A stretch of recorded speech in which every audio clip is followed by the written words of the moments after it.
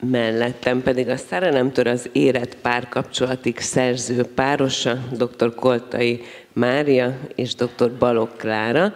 Minden tiszteletem mellett tegeződni fogunk, jó? Hogy egyszerűbb és könnyebben tudjunk beszélni arról a nehéz témáról, hogy mi minden akadályozza a párkapcsolatot.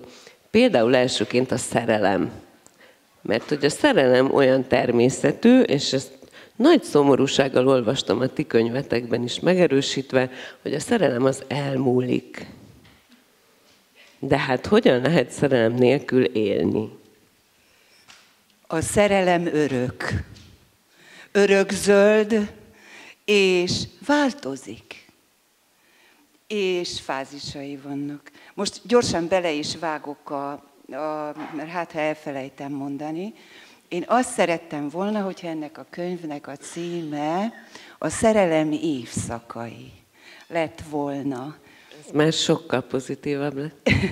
És hát alcímnek meg ezt a pszichológiás, tudós, okos mm, okfejtést, de aztán több ok miatt nem történt meg, de én azt gondolom, hogy ahogy az életünkben minden folyamatnak születése, fejlődése, kibontakozása,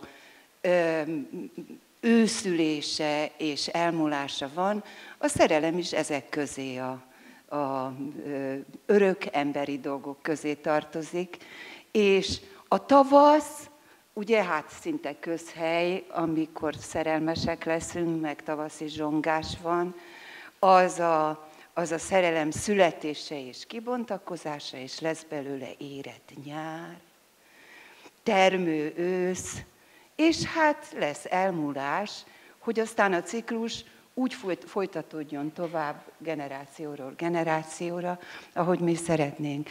Minden esetre nem múlandó, hanem örök. Azt szerettem volna csak mondani. És csak át, átalakul.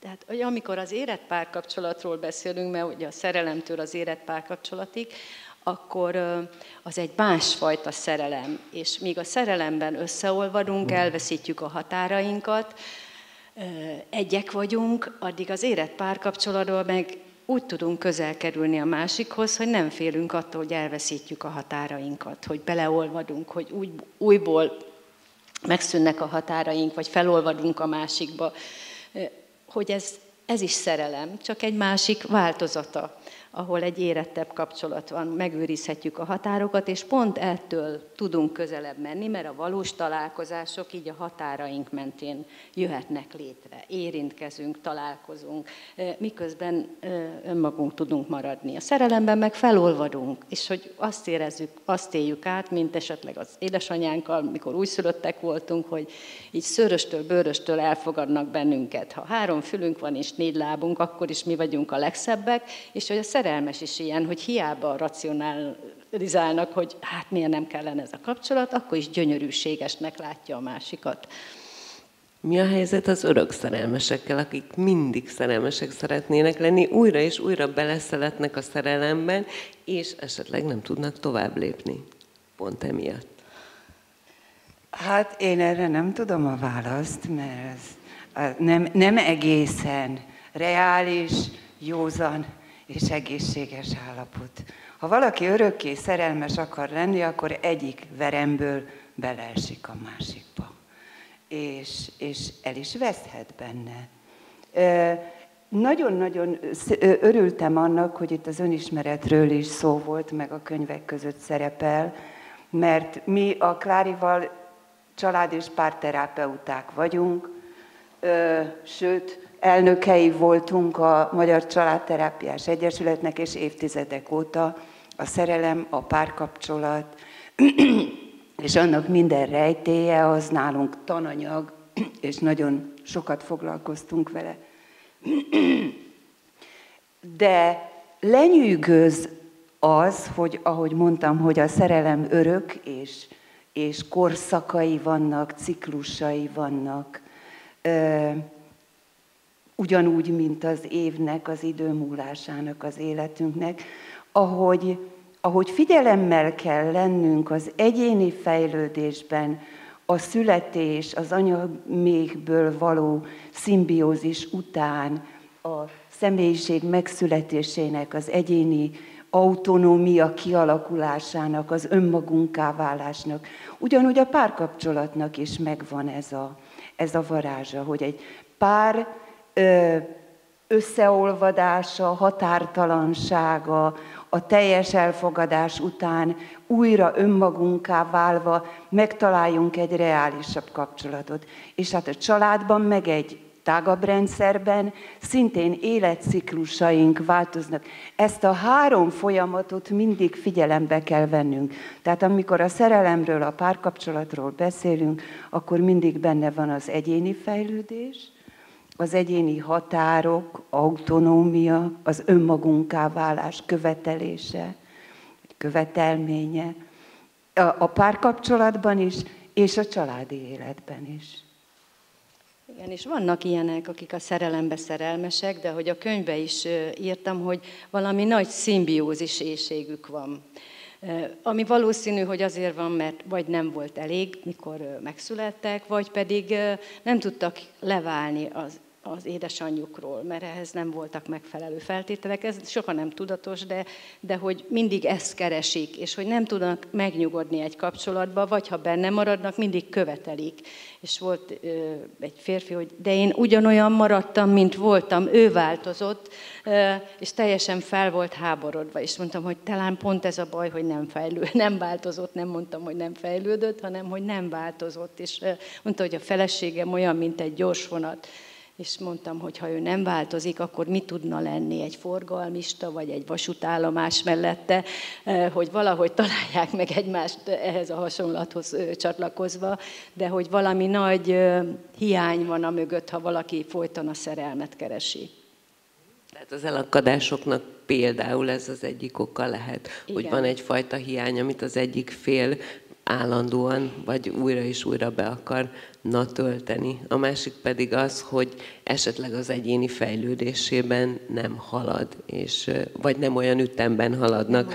Ez ma nagyon divatos is egyébként, nemrég is hallottam egy beszélgetést erről, hogy elfejlődnek a párok egymás mellett. Nem tudom, ez szakmailag mennyire megalapozott egyébként ez a szó használat. Szétfejlődnek. Távolodnak, igen.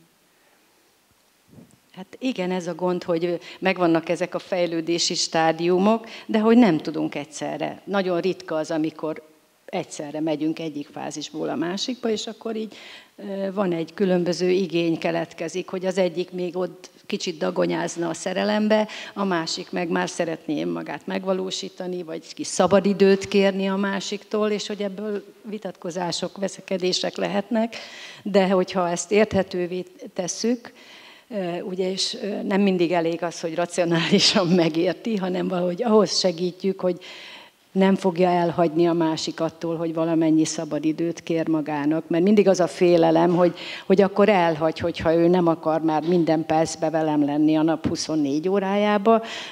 Közben nem erről van szó, csak arról, hogy szeretne a kapcsolaton belül egy kis magánidőt, vagy önálló tevékenységet, gondolkodást, baráti kapcsolatokat, stb.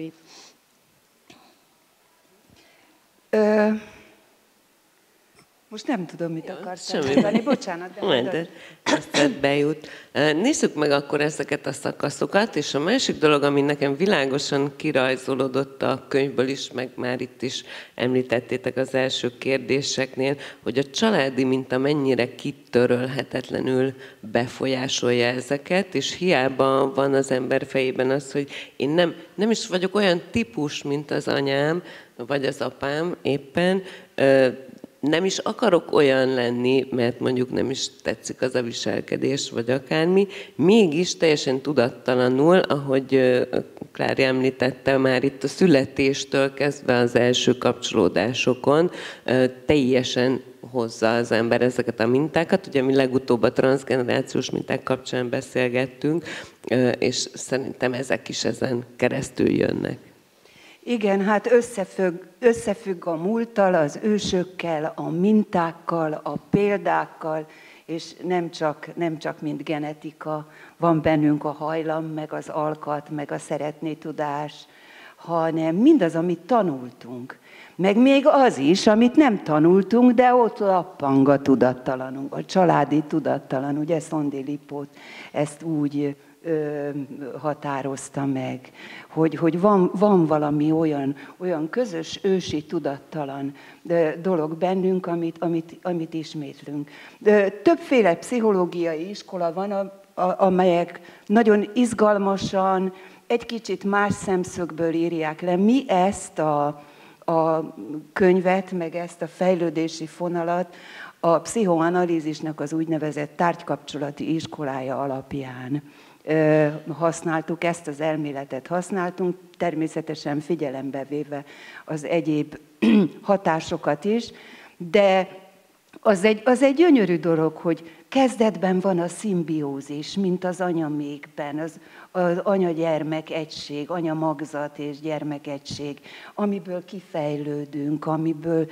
kinövünk egyéniségé és, és önálló lényé válunk és megtaláljuk a saját stílust, a, a másikhoz való viszony, közelség, távolság, határok természetét, és, és azt szerint élünk, és azt szerint mozgunk.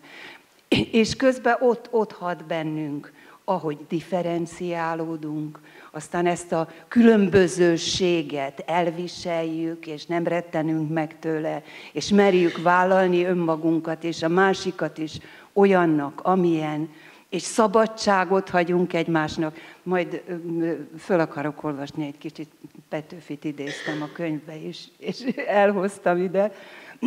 A szabadság és a szerelem párosa. Az egyik az összeolvadás, a másikhoz tartozás, a, a, a másik pedig ugye a dinamikus ellentéte, hogy én önmagam legyek, és szabad akaratom, és vágyam, és álmom, és, és elveim lehessenek. És aztán az újra közeledés, ezután a differenciálódás és távolodás után. Hogy, hogy valóban érett, felnőtt módon és önálló módon tudjunk egymáshoz viszonyulni. Ez egy gyönyörű fejlődési ív, és a normális fejlődés, nem illik ilyeneket mondani ebben a posztmodern korban, tudom normalizálni, de hát azért mégiscsak van egy ilyen fonala és egy természetes útja. És amiben, hogyha megrekedünk, elakadunk, megbotlunk, meg előjönnek a régi minták, hatások, meg eltévejedünk, akkor ki lehet igazgatni. És igyekeztünk ezt, hogy hogy lehet kiigazgatni, vajon mindenféle módon illusztrálni. És hogy ugye keressük a stabilitást egy kapcsolatban, hogy számíthassunk a másikra, hogy mindig ott legyen, és tőle várjuk minden örömöt, de hogy ez egy teher is lehet, hogyha mindig azt gondolom, hogy a páromnak kell az én mindenféle igényemet kielégíteni, az a számára teher lehet de gyakran azt tapasztalom a pároknál, hogy azt szeretnék, hogy engem hagyjon fejlődni, de ő meg mindig ott legyen. És olyan ez, amikor egy kisgyerek elindul, és most már tud járni nyugodtan, és mikor elkezd tötyögni, és az édesanyja fut utána, akkor biztos, hogy még jobban amorra fut, mert igényli azt, hogy ő egyedül tudjon futni, vagy egyedül tudjon menni, és mikor megáll az édesanyja, akkor egy ideig még megy, és aztán egyszer csak visszanéz, hogy anya nem fut utánam, akkor megáll. És ha anya elindul a másik irányba, akkor kicsit úgy döcögősen, de utána indul az édesanyjának, és hogy párkapcsolatban is ez szokott lenni, hogy igényelnek bizonyos önállóságot, bizonyos távolságot, és az irreális, hogy a másik mindig ott legyen, és ha elfutok, visszanézek, akkor is ott fixen ott legyen. Tehát ez a szétfejlődés, amikor nagyon, nagyon elmegy, de hát a másik is elmegy. És akkor így szét tudnak, szét tudnak fejlődni. Ez a gyakorlás fázisában van, amikor mindegyik éli, a, megcsinálja a maga karrierjét, munkája van, megy és alig találkoznak. És hogy akkor olyan, szoktam mondani, hogy két jó madár kétfele repül, és hogy néha a gyerekeknek kell őket összetartani, ami a gyerekeknek meg nagyon-nagyon nehéz. Tehát, azt hiszem, ennyit akartam most ehhez mondani. nagyon-nagyon ki kell hangsúlyozni, hogy a fejlődés az nem egy diadalmenet. Klári, te szoktál idézni egy klienst, aki mondta, vagy a nagypapád, vagy valaki, hogy édes fiam... Édes az élet fiam, nem sima betonpálya. Nem, beton, szóval nem sima nem betonpálya. is pálya, és nem száguldunk át rajta csak úgy, mint egy rakéta, különböző sebességekkel persze, hanem az egyik fejlődési fázisból, az egyik szakaszból, vagy a, az egyik évszakból a másikba átlépni, krízisek árán tudunk.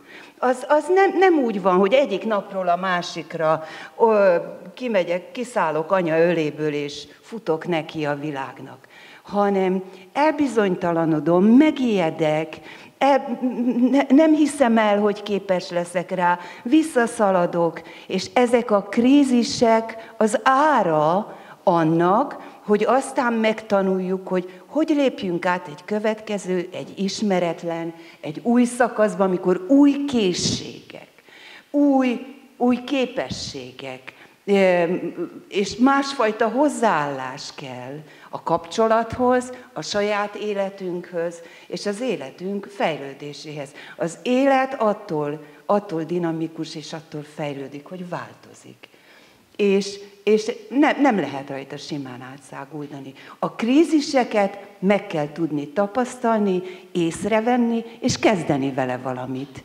Ö, nagyon, nagyon sok szó esik ebben a, erről a könyvünkben, és hát az, ar, arról is, hogyha valahol benne ragadunk egy krízisbe, és semmiképpen nem tudunk belőle kidagonyázni, hogy akkor mit lehet kezdeni. Hát ugye mi párterapeutaként általában ilyen ügyekkel találkozunk, és nem a diadalmenetekkel, de nem reménytelen, higgyetek benne. Nincs örök szerelem, de szerelem mindig volt, van, és lesz is, ha változik is az arca, meg a stílusa, meg a jellege, és, és bátorság kell hozzá, hogy meglépjük a fejlődési fázisokat. És hogy az a lényeg ennek, hogy úgy fejlődhetünk egy kapcsolatban, mind az egyén, mind a párkapcsolat, hogy közben a kötődés megmarad, és ez egy nagy feladat hogy megmaradjon a mi, megmaradjon az egymáshoz való kapcsolódás, meg közben fejlődni is tudjunk mi is, a másik is, meg a kapcsolat is, hogy ez egy nehéz feladat, és el lehet benne akadni. Természet, természete a dolognak, hogy el lehet akadni, meg hogy ez konfliktusokkal jár. És a e, Sipkovics Erika előadásában volt, hogy mennyire ugye passzív-agresszívek vagyunk, vagy hogy az agressz, vagy a dűnek a kifejezése nem illik de hogy van olyan fázis, amikor igenis kell a harag, vagy kell a konfliktus, csak hogy azt milyen konstruktívan oldják meg, attól függ, hogy ezek a konfliktusok által fejlődik-e a pár, hogyha megoldják, vagy pedig elakadnak, és egy életen át veszekednek, ahogy a könyvbe írtam, hogy a WC papír állása az hogy jó, hogy a fal felől csorog le, vagy kívülről csorog, és lehet ezen veszekedni, de hogy néha kívülállóknak, a szülők, a pár szüleinek nehéz azt elviselni, hogy, hogy ezek eddig szerelmesek voltak, most meg veszekednek, és elküldték a párt például hozzám, hogy ez most már hát valami baj van, ezek el fognak válni, menjetek párterápiába. És hogy mikor azt jeleztem vissza a szülőknek, már a a pár szüleinek, hogy nincs itt semmi baj, mert pont a következő fázisba léptek, és most vitatkoznak, mert ez a dolguk, hogy vitatkozzanak, csak az a lényeg, hogy jussanak valamire. És hogy ne mindig ugyan egy kislány mondta, hogy nem az a baj, ha veszekedtek, hanem az a baj, ha mindig ugyanazt az öt szót mondjátok de amikor azt hallom, hogy tovább juttok az öt szónál, és utána kibékültök, akkor az, az jó. És ha elragadnak annál az öt szónál, az, az a probléma. Bocs. Én szeretnék visszatérni a Klári első mondatára, és arra egy, egy nagy fel, több nagy felkiáltó jelet tenni, hogy megmaradjon az együttesség, a kötődés, a közelség. Ennek a könyvnek az illusztrációit Balogh Klári rajzolta, szerintem zseniálisak, biztos nektek is tetszeni fog. És hát ugye ezzel a kis közhelyjel, vagy gicsel, vagy nem is tudom mivel, a szívecskével jeleztük, hogy, hogy ez maradjon meg közöttetek. Legyen benne érzelem, szív és lélek. Lesz harag is, veszekedés is, vita is, de ha megmarad ez a szív, és úgy tud változni, hogy ne szakadjon szét, ne lappadjon össze, ne eresszel le, mint a lufi, amit kiszúrtak, akkor valószínű a fejlődési fázisokon túl fogtok tudni jutni. Tehát e- ez az egyik, hogy, hogy a közös szív, az együvé tartozás, természetesen más hangsúlyjal, jelleggel, stílussal, egy kicsit a stílust akarom illusztrálni, mert ugye benne van a családi rendszer, a transgenerációs örökség, az őseinktől hozott sokszor tudattalan minták, de benne van a kor is, meg a divat, meg, meg ami árad, árad ránk a világból, hogy, hogy ők hogy állnak a kapcsolathoz, a szerelemhez, a, az együvé tartozáshoz és a szabadsághoz egy Varró Dani verset nagyon imádok, ami, ami nagyon ér, érzékelteti, hogy hát azért van változás. Szerelmi vallomás, ugye Rómeó és Júlia, és a nagy szerelmi vallomások után Varró Dani azt írja, hogy azt írom plusz most egy SMS-be, hogy beléd vagyok kedvesen esve. Vágyak dobálnak, partra kivetnek, billentyű zárát olt ki szívemnek. Imádom. Minden benne van. Mintha ennyire egyszerű lenne, ugye, mint egy kód. Igen, és egy gomnyomás. Hát gomnyomásra szeretnék. Én még a, a kedvenc Petőfimből hadd olvassak. Aztán beszélgethettek. nagyon ragaszkodtam hozzá, hogy ugye Varró Dani után Petőfi Sándor 1947-ben Kolton, ugye a Nászúton, írta a Mi a szerelem című versét. Meg kell mondjam, hogy nincs az a pszichológus, magunkat is beleértve, pár és családterapeutákat, akik ennyire szuperül és ilyen szellemesen meg tudták ezt írni. Egy nagyon kicsi részlet van ebből a versből a, a könyvben idézetként, de érdemes elolvasnotok. Egy pár sort olvasok belőle. Van néhány nagy kedvencem. Egyébként szeretném elmondani, hogy a szerelmi pszichológiához, meg a párkapcsolat pszichológiájához a legtöbbet az irodalomból tudunk tanulni. Az egyéb művészetekből is, ugye, a, a, a nagy festményekből, dráma, de az irodalom az sokszor pontosabban elmondja, amit tudni kell, mint a legszuperebb tárgykapcsolati pszichológiai szakkönyvek. Régen még divat is volt verseket küldözgetni, ugye? Hát igen, amikor még Az ember szíve választottjának. Billentyű zárát volt ki Azt mondja azt írja Petőfi, süldő poéták, bigficek, ugyan ne csiripeljetek a szerelemről, kérlek szépen az emberiség szent nevében, melyet kimpadra vonni vétek, kérlek, hogy azt ti ne tegyétek. Tudjátok, milyen fán terem, milyen madár a szerelem? És hát hosszan ír nagyon-nagyon sok jó mondatot, azt most itt nem akarom vele az időt rabolni, de azt írja, hogy azt írja, hogy honnan folytassam, hogy érthető legyen. legyen egy kedves halottunk, itt kínosan kell megsiratnunk, a vágyamnak óriási kígyófarkával szembeszállni, eltűrni oly bántalmakat,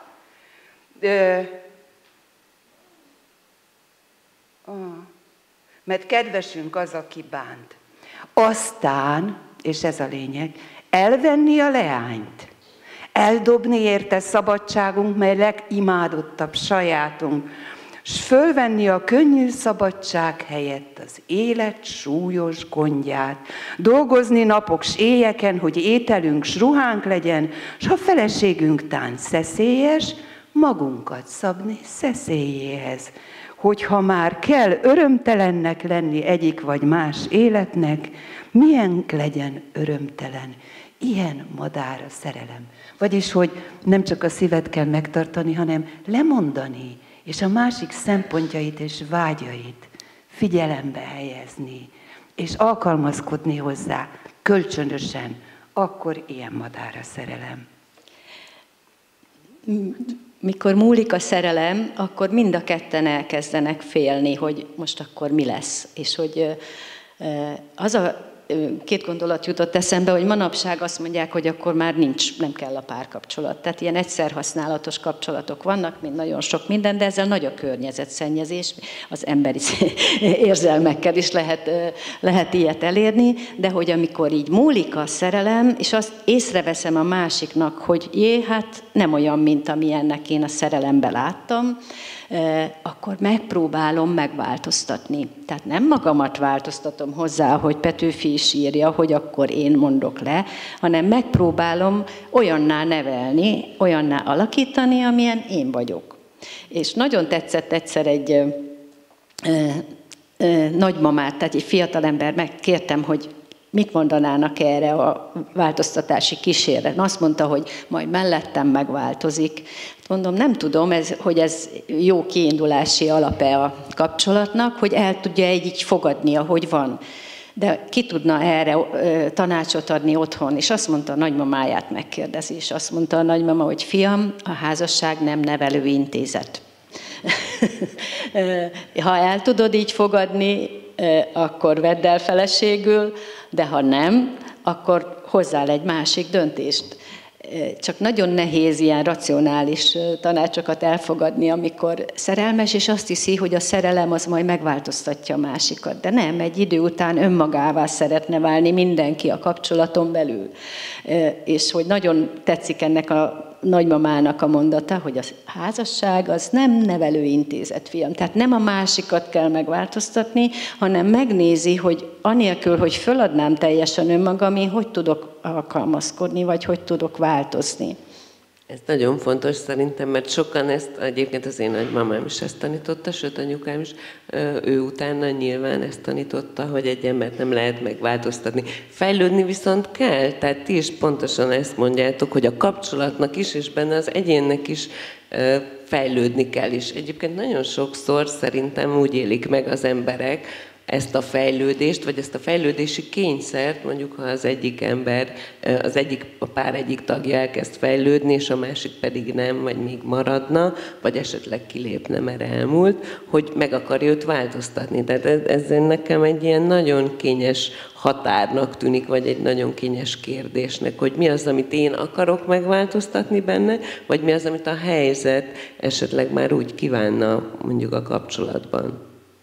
Igen, ez az örök emberi hiba, hogy azt higgyük, hogy na majd én megváltoztatom. Többször hivatkozunk, és részletesen is írunk a könyvben, a mellékletekben pontról pontra szedve is segítséget nyújtunk ahhoz, hogy, meg, hogy megismerjük az úgynevezett házassági szerződést. Borzalmasan hangzik, tudom, nem arról van szó, hogy majd ki mit örököl, vagy ki, ki hogy osztozkodunk, ha elválunk, hanem arról, hogy minden szerelemben, minden párkapcsolatban létre jön egy szerződés, ami tudatos, tudattalan, nyílt, vagy, vagy csöndes, elhallgatott. Három, háromféle dolog van. Az egyik, amiről tudunk, és beszélünk is róla. Majd milyen házban szeretnénk lakni, meg te mit, milyen ízlésed van, meg járunk-e táncolni, meg mit tudom én. Ö, aztán van egy olyan szint, a következő szint, amiről tudunk, de nem beszélünk róla, mert kínos, mert kényes. Na majd mellettem leszokik a piáról. Na majd én hatással leszek rá, és akkor, a, a, a, akkor szépen csinálok belőle egy jó, mit, ember. jó embert, rendes Vagy embert. jó alapanyag. Vagy jó háziasszony. Jó És akkor van egy harmadik szint, ugye ez meg a tudattalan, nem is tudunk róla, nem is beszélünk róla, de hat. Az önismeret az nem csak személy szerint egyénileg, nagyon fontos témája az életünknek, még ha ijesztő, meg félelmetes. És én azt gondolom, hogy sokkal nagyobb kaland, mint amennyire félelmes, mert amikor valóban megismerhetjük önmagunkat, és a világhoz és a többi emberhez való reális viszonyunkat, az, az egy diadal, kérem szépen. Na, szóval megváltoztatlak, nem változtatlak meg, hanem, hanem ismerjük meg, hogy melyikünk mit gondol erről, hogyan is beszéljünk róla nyíltan. A házassági szerződés arra való, hogy életciklusonként a tavasz múltán, a differenciálódás drámái és a veszekedések közepette, és később is újra elővegyük és nézzük meg, hogy na most hol tartunk ebben. És én mit szeretnék, te mit szeretnél. És egyezkedjünk. És mi köt össze minket, és mi az, amit másképp szeretnénk. És valahogy jussunk konszenzusra, és egyezzünk meg.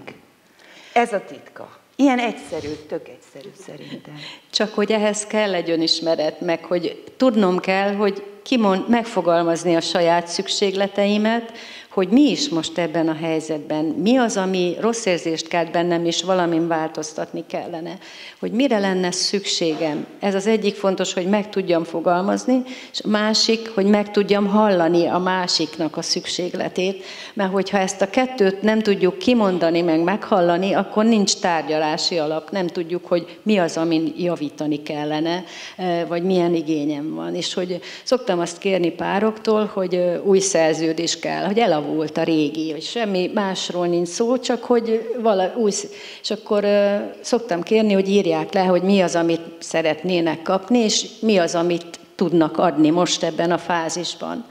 És van, aki azt mondja, hogy én már többet egy grammal se tudok adni mert azt hiszik, hogy többet kell, és el vannak fáradva mind a ketten rohadtul, és hogy, hogy csak arról van szó, hogy nem azt adják, amire szüksége van a másiknak. Tehát mindig mondom, hogy nem többet kell adni, lehet, hogy kevesebbet, csak mást. És hogy ezt nagyon fontos tisztázni, hogy nem terhelni akarjuk még, mikor így kifullad egy kicsit a kapcsolat, vagy kifárad, hanem tudunk-e megfogalmazni új szükségletet, illetve tudjuk-e azt abban segíteni a másikat, hogy ezt megkapja általunk, vagy saját maga által. De hogy itt ilyen elakadásoknál mindig fontos megnézni, hogy vajon az ő szülei hol akadtak el, vagy a, ő anya-gyerek kapcsolatában, szülő-gyerek kapcsolatában hol volt az elakadás, és vajon milyen nem tudatos igénye, ahogy Moni mondta, hogy nem is tudja megfogalmazni sokszor, igénye van most, amit szeretne itt megkapni. És ehhez kell az önismeret, és ehhez érdemes akár párterápiába, akár egyéni terápiába menni. Csak az egyéni terápiában néha ahhoz járul hozzá, hogy túlfejlődjük a másikat. Tehát az egyik elkezd fejlődni, másik nem megy terápiába, ő ott marad. Két dologra szeretnék én is hangsúlyt helyezni amit a Klári mond, hogy fogalmazzuk meg, mondjuk ki. Legyünk nyíltak, őszinték. De e, e, ezt külön tanítani kell. Mi pszichó emberek, ugye itt zömében sokan vagytok segítők, és pszichológiával foglalkozók, nem tudunk megváltoztatni semmit, senkit meg ráerőltetni a saját ideáljainkat, meg a fejlődési sémáinkat, meg a pszichológiai, mit tudom én, irányzatokat, de abban segíteni őket, hogy próbáld megfogalmazni, és őszintén, nyíltan kommunikálni, kifejezni, elmondani a társadnak, hogy mi az, amit téged bánt, mi az, amit vársz, mi az, amit szeretnél, és ha ez megy, akkor már egy nagy-nagy közeledő lépés történt. A másik, amit a Klári hangsúlyozott, az adás és a kapás. Hát ez, ez meg egy, egy sarkpontja a kapcsolatok etikájának, az igazságosság. Nem csak kapok, Ugye? Lehozom néked a csillagokat is az égből, meg te vagy a világ legszebb nője, és megveszem neked a, nem is tudom, a, a félbótot. Nem, hanem, hanem adok, és kapok. És ezt mindig őszintén nyíltan megvizsgálni, tisztázni, és szembenézni azzal, hogy most ki az, aki itt az igazságosság egyensúlyában, az adás és kapás egyensúlyában kihasználja a másikat, csak kapni akar, a másiktól csak azt várja, hogy adjon, vagy ő ezt hogy és mivel tudja viszonozni.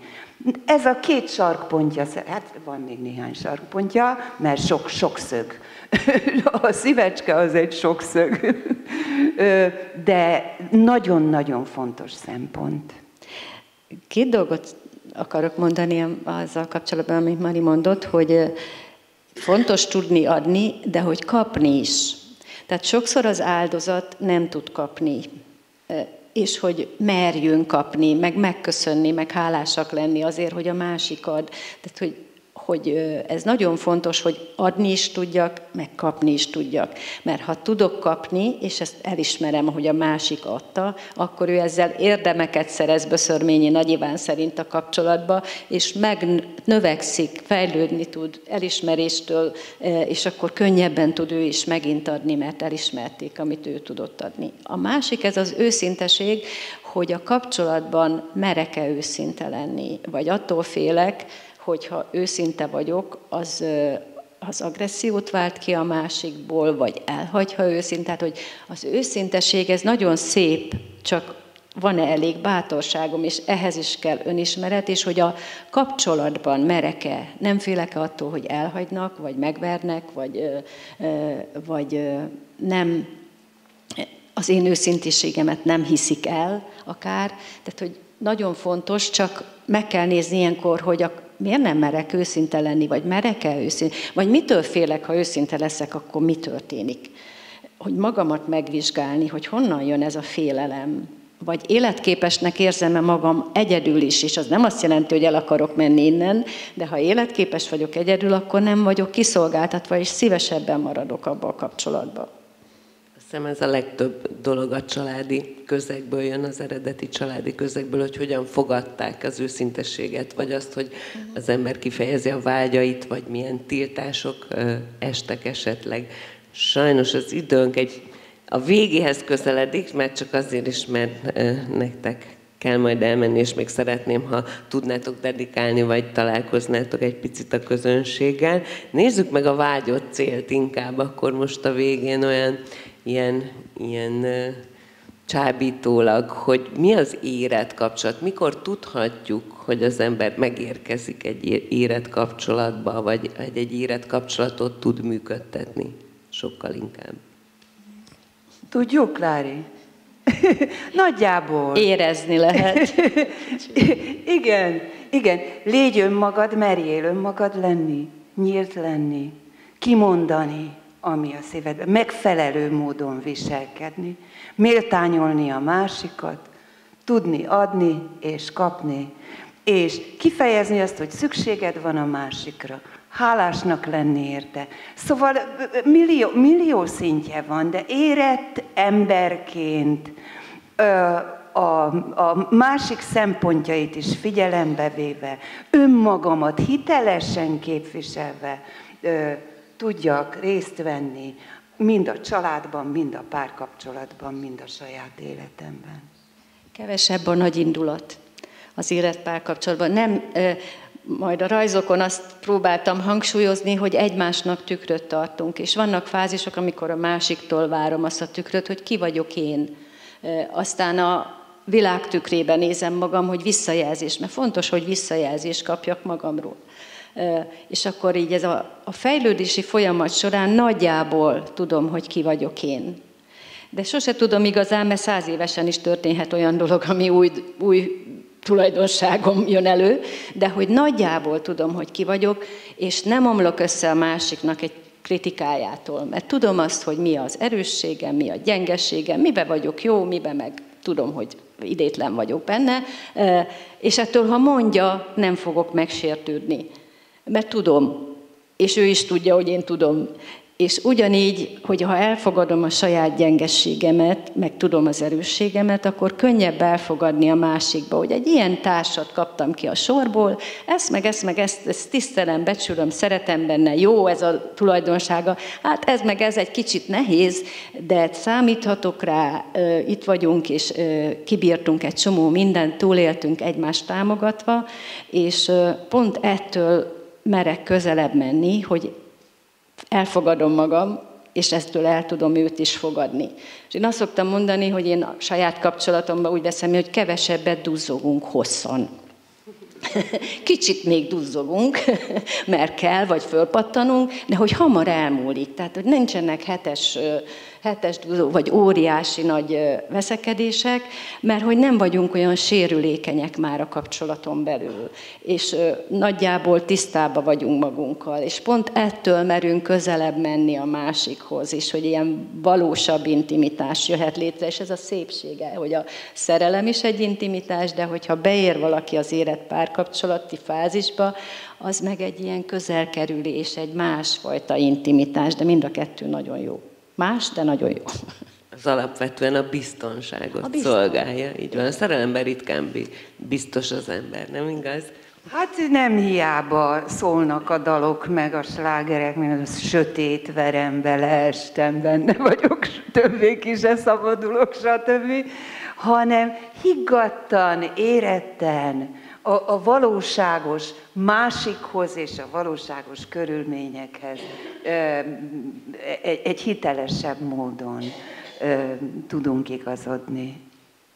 Én nagyon szépen köszönöm, hogy beszélgetni tudtunk egy kicsit, és hogy a könyvben is, és most is megosztottátok sok évtizedes tapasztalataitokat, nem beszélve arról, hogy a könyvben rengeteg feladatkérdés, ahogy mondtad, a szerződés kérdései is benne vannak, és rengeteg olyan dolog, ami mentén lehet haladni, fejlődni, akár párként, akár egyénként. Úgyhogy én egyfajta kézikönyvként fogtam fel, és már ajándékoztam is ebből a könyvből, úgyhogy jó szívvel ajánlom mindenkinek. Köszönöm, hogy ezt kihangsúlyoztad, mert ugye mi terapeuták vagyunk, egy ilyen, hogy is mondjam, csak ugye, ugye mi gyógyítunk, meg terapizálunk, meg azt hiszük, hogy, hogy rajtunk múlik minden, de hát a fenét.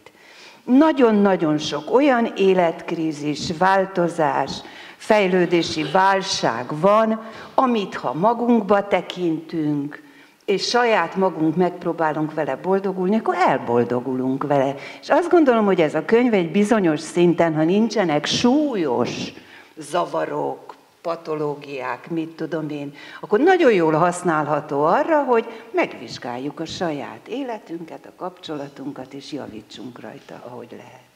És csak ennyit, hogy jött egy pár, most hozzám harmadjára voltak, és olvastuk a könyvet, és mi SP-be vagyunk elakadva. Tehát, hogy már diagnosztizálták magukat, és tényleg, és akkor na most hogy lehet innen tovább jutni? Tehát fontos, hogy saját magunkat is tudjuk általa diagnosztizálni, meg továbbfejleszteni. Igen, teljesen jó, ha az ember képben van, hogy éppen hol tart, még ha segítségre is van mellette szüksége. Ti nagyszerű segítségek vagytok, köszönöm szépen, hogy itt voltatok, lehet veletek még egy fél óráskát, ugye, ha minden igaz, addig értek rá, találkozni, dedikáltatni, és a szerelem örök fejezzük be akkor ezzel. Köszönöm szépen. Mi köszönjük szépen.